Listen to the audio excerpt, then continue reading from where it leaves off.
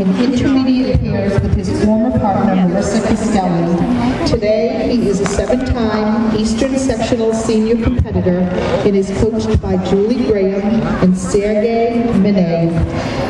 Brad will be skating to Let There Be Peace on Earth by Vince Gill, and he is currently a member of the Yarmouth Figure Skating Club.